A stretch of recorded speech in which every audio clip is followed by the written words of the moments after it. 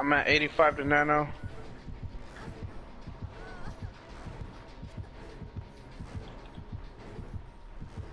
Oh my god, I just got booped to fucking outer space.